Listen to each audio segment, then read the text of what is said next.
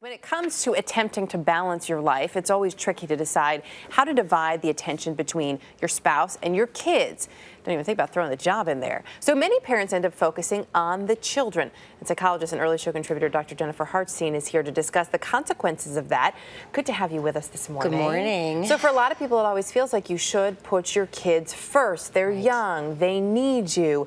Uh, but making sacrifices for them may not be the best plan. Right. Well, what we have kind of have become the norm in our world is this over-parenting. And a lot of people are becoming what we've come to call helicopter parenting, where we are so over-involved, so overindulgent, running interference. And what research has recently found is that we are then raising very dependent, very needy, neurotic kids who, when it comes time to go to college, they really can't function because they don't know how to do it without their parents navigating the road for they them. They don't know how to take care of themselves. So yeah. that's one consequence. The right. other consequence to this is that when you're focusing all your attention on your children, your relationship with your partner can really fall by the wayside. Absolutely, and you mentioned work. So if we are splitting our attention between work and our children, we really aren't paying attention to the relationship that got us the children in the first place. So the fact is, we find that women in those situations are actually getting divorced and separated more, especially women with high-powered jobs with MBAs, more than uh, people with just BAs they're getting divorced, and women who are lawyers and doctors get divorced and separated more than their male counterparts.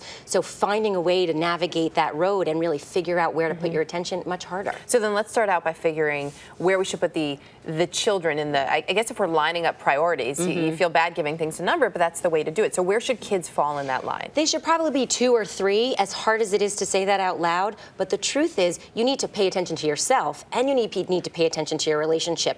Anything lower than four, five, or six on that list, you're not going to get to, and oftentimes that's where our marriage or our relationships go. So we also need to move that up as a priority. Mm -hmm. So if mm-hmm. you are in a relationship where both of you work and you have children, how do you bring your relationship back to the forefront and make it a priority? Well, there's a couple things we want to think about. So first off, you really want to figure out how to have a date night. Find time just for the two of you. Second to that, you want to talk about things not related to your kids. Talk about each other. What happened in your day? What happened in my day? Make that priority and figure out how to share the responsibilities. Oftentimes, that helicopter parent is doing everything mm -hmm. and it's leaving the other person out, so they back out. So figure out how to balance it. What if you're a single parent?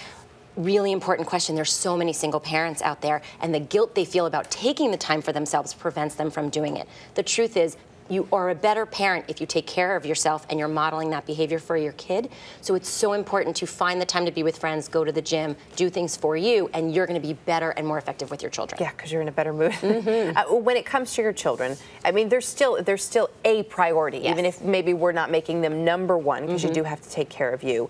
How do you sort of teach them and care for them at the same time so they don't end up as these needy, neurotic kids we're seeing now who can't handle a freshman right. year off by themselves. Right. Well, you want to figure out how to recognize your own feelings and model for them what appropriate behavior is. So you want to be show them that taking time for yourself is okay, recognize your feelings about that, stand your ground if they start to tantrum that they need more of your time, really stand your ground on that, and demonstrate positive ways of expression, positive behaviors, how to interact appropriately. And it's important to let them fail a little bit too? Yes, let them fail let them figure out how to pick themselves up. If they can do that, they're going to learn that they can get through it, that they can manage those emotions just fine. You can't win everything all the you time. You can't win everything all the time. All right. Jen, thanks as always. Thanks.